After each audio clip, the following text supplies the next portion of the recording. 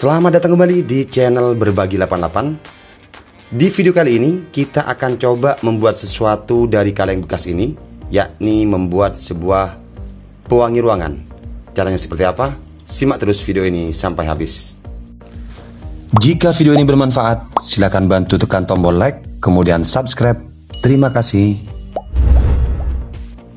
Langkah awal yang perlu kita siapkan hanya sebuah kaleng bekas seperti ini kaleng yang bentuknya aluminium ya bahannya. Bisa merek apa pun. Kemudian yang kedua sebuah cutter. Selanjutnya sebuah gunting. Isolasi. Sebuah kapas seperti ini. Dan pewangi pakaiannya seperti ini yang harganya hanya 500 perak. Langkah awal yang perlu kita lakukan adalah kita potong bagian kaleng bekas ini dengan cara seperti ini kita bisa memotongnya menggunakan sebuah cutter ini seperti ini. Kita potong di bagian sini ya. Sesuaikan dengan selera kita masing-masing. Akan saya potong sebelah sini. Seperti ini.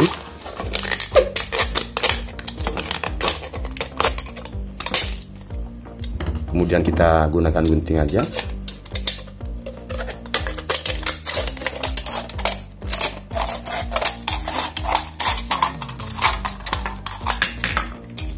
seperti ini.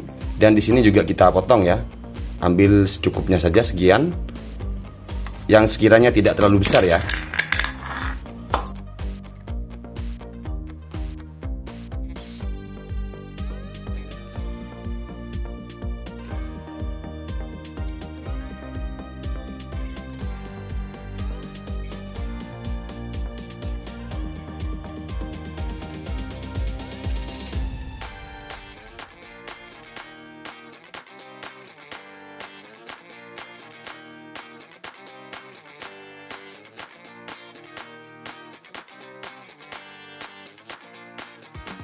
Sudah. Kemudian yang ini juga kita rapikan.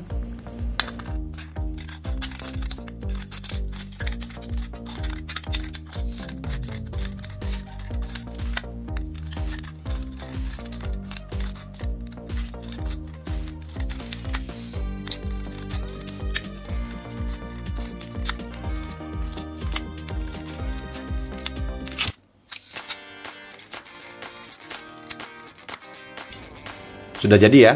Kemudian di bagian bawah, di bagian botol yang paling bawah, kita kasih sebuah pecahan di sini ya. Kita belah sedikit saja seperti ini.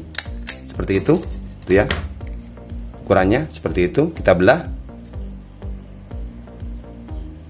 Seperti itu ya. Kita belah. Tujuannya agar ini bisa masuk ke botol yang di sini nanti ya.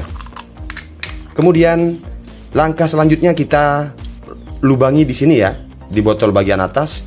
Ini bisa kita tekuk seperti ini. Teman-teman sesuaikan dengan seleranya masing-masing ya. Kalau saya ini tidak saya buang. Kita tidak akan membuangnya. Jadi langsung kita lubangi seperti ini ya. Kita lubangi menggunakan sebuah paku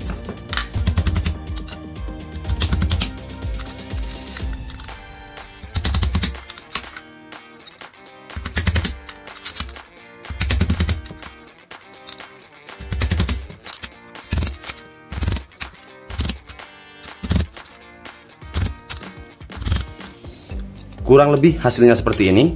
Jadi ini kita dorong ya. Tinggal kita dorong seperti ini. Kita kembalikan ke asal. Itu ya. Ini boleh kita lepas ya.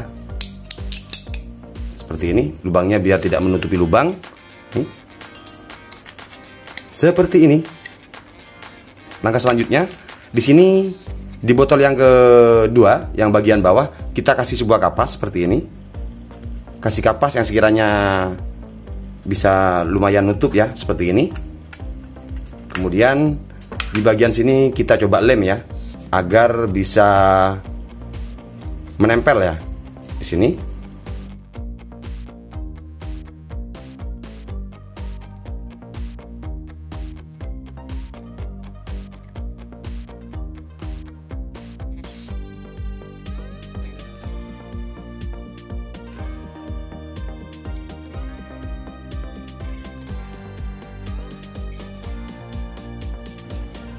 Kemudian kita masukkan seperti ini.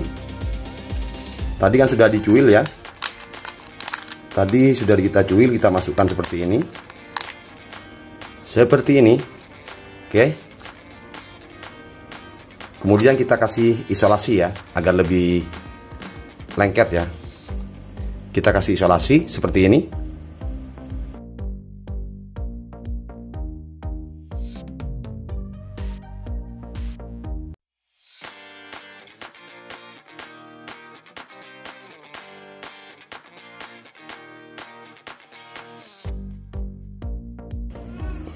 Sudah seperti ini. Langkah terakhir tinggal kita berikan sebuah pewangi pakaian seperti ini ya. Ini saya memiliki sebuah dauni. Ini ya. Ini harganya 500 perak. Tinggal kita tuangkan ke dalam kapas yang di dalam seperti ini ya. Seperti ini. Kita tuangkan seperti ini. Seperti ini.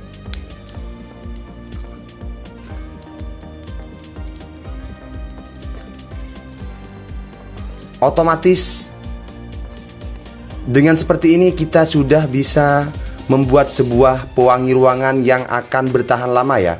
Ini lumayan tahan lama karena ada kapasnya. Sebelum kapasnya kering maka wanginya masih akan semerbak di sekitar kita teman-teman ya. Seperti ini. Jadi ini untuk canolannya kita bisa letakkan di bawah bawah meja ataupun yang lain ya atau di pojok-pojok kamar. Jadi seperti ini. Jadi ini sangat wangi sekali ya teman-teman ya. Jadi seandainya kita bisa menggant mau menggantung, jadi kita tinggal gantung menggunakan cantolan yang ini ya. Di sini kita bisa menggantungnya. Atau seandainya mau diletakkan di depan kipas, ini tinggal kita kasih benang atau bisa kita potong di sini ya. Menggunakan gunting seperti ini, bisa kita potong ya, seperti ini. Oke? Jadi kita bisa meletakkannya di sini ya, di bawah-bawah seperti ini, seperti itu otomatis wanginya akan jadi satu kamar ya teman-teman ya. Jadi seperti ini. Oke.